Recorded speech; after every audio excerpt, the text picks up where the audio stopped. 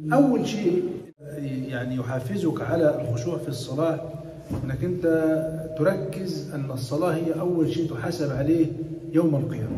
أول شيء تحاسب عليه وبعدين بتأتي الأشياء الأخرى. كما قال النبي صلى الله عليه وسلم إن أول ما يحاسب عليه العبد يوم القيامة من عمله صلاته فإن صلحت فقد أفلح وأنجح وإن فسدت فقد خاب وخسر. طيب فإن صلحت الصلاة يبقى أفلح الإنسان ونجح. يبقى معنى ذلك لما يقول الرسول فإن صلحت فقد أفلح وأنجح وإن فسدت فقد خاب وخسر. وإن فسدت فقد خاب وخسر. ركز على قول النبي صلى الله عليه وسلم وإن فسدت يعني فسدت الصلاة فقد خاب وخسر. بمعنى ذلك هذا الإنسان يخيب ويخسر ولا يكون يعني من أهل الفلاح ولا من أهل النجاح طالما أنه فرط في صلاته. إذا لن ينفعه في هذا الوقت لا عمله لا في الدنيا ولا في الآخرة. يعني حتى ما ممكن أن تكون يعني من أصحاب الأعمال والأموال ولكن برضو أنت من الخاسرين. يعني لأن لن تعيش مهما كانت مقوماتك المالية ربما تعيش في معيشة ضنك كما قال الله سبحانه وتعالى فمن اتبع هداي فلا يضل ولا يشقى ومن أعرض عن ذكري فإن له معيشة ضنك حديث الرسول صلى الله عليه وسلم واضح في هذا الأمر. فقد خاب وخسر اللي هو إيه؟ عنده تفريط في موضوع الصلاة. ومن من أهم الأمور التي تعينك على الخشوع في الصلاة الاستعداد للصلاة والتهيؤ لها.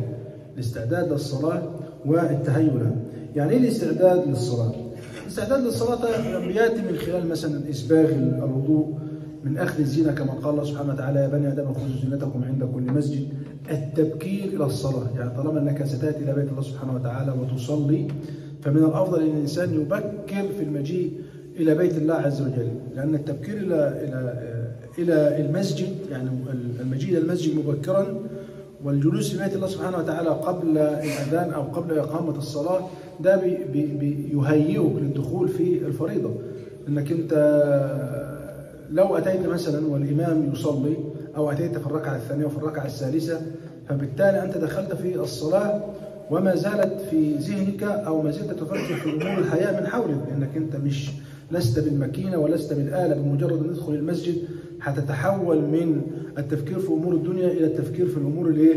في أمور الصلاة ولذلك حث النبي صلى الله عليه وسلم على التهجير أو التبكير إلى الصلاة وقال صلى الله عليه وآله وسلم في مروان الإمام البخاري ولو يعلمون ما في التهجير يعني التبكير إلى الصلاة لاستبقوا إليه. يعني كما كما أن الناس يتسابقون ويتنافسون في أمور دنيوية فلو يعلمون ما في التبكير إلى الصلاة لاستبقوا إليه. وفي نفس الوقت بيقول النبي صلى الله عليه وسلم ولو يعلمون ما في النداء والصف الأول.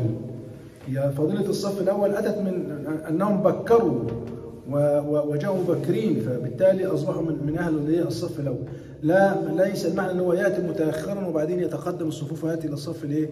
الأول يقول صلى الله عليه وسلم ولو يعلمون ما في النداء والصف الأول ثم لم يجدوا إلا أن يستهموا عليه لاستهموا عليه يعني تسابقوا عليه ودخلوه بالإيه؟ بالإستهام أو بالقرعة وأيضا حينما تأتي إلى بيت الله سبحانه وتعالى فأنت بتمشي بتؤدة وسكينة لأنك أنت يعني قادم على الله سبحانه وتعالى. ولذلك النبي صلى الله عليه وآله وسلم يقول إذا أتيتم الصلاة فعليكم بالسكينة. يعني حتى وأنت ماشي يعني جاي للصلاة أو ماشي للصلاة. يعني فعليكم حتى قبل الصلاة فعليكم بالسكينة. يقول صلى الله عليه وسلم فما أدركتم فصلوا وما فاتكم فأتموا يعني شوف الإنسان بهيئ نفسه حتى قبل أن هو يدخل إليه المسجد. إذا أتيتم الصلاة فأتوها فعليكم بالسكينة فما أدركتم فصلوا وما فاتكم فأتموا طيب دخلت المسجد ويؤذن الأذان يبقى بتردد كلمات الأذان خلف المؤذن كما نعلم. ثم بتقول الأذكار الواردة بعد بعد الأذان اللي هي الصلاة على رسول الله صلى الله عليه وسلم وسؤال الله عز وجل الوسيلة لرسول الله صلى الله عليه وسلم اللهم رب هذه الدعوة التامة والصلاة القيمة. فترديد حتى كلمات الأذان خلف المؤذن ده كله بيهيئك ده كلها بمثابة تهيئة عارف أنت لما يعني بتهيئ نفسك لعمل ما فأنت بتهيئ نفسك للدخول في الإيه؟ في الصلاة. وترديد كلمات الأذان خلف الإيه؟ المؤذن. وبعدين لما بينتهي المؤذن إذا كانت للصلاة سنة قبلية فبتصلي السنة التي قبل الصلاة دي كلها أيضا بمثابة وبعدين بعد الانتهاء من السنة هذا الوقت اللي هو بين الأذان والإقامة كثير من الناس للأسف الشديد بي بي بيتساهل فيه أو بيتغافل عنه.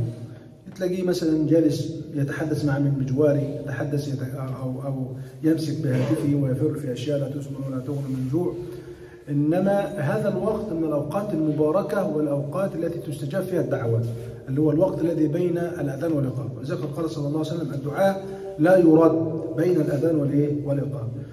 يبقى ان كونك جالس في خضوع وسكون وهدوء وراحة بين الأذان والإقامة أنت في في في في معية الله وتدعو الله سبحانه وتعالى. الدعاء معناه التضرع لأنك أنت في حالة تضرع وسكون مع الله عز وجل. وبالتالي ده كله بمثابه التهيئة النفسية والتهيئة الروحانية للدخول في الإيه؟ للإقبال والوقوف بين يدي الله سبحانه وتعالى.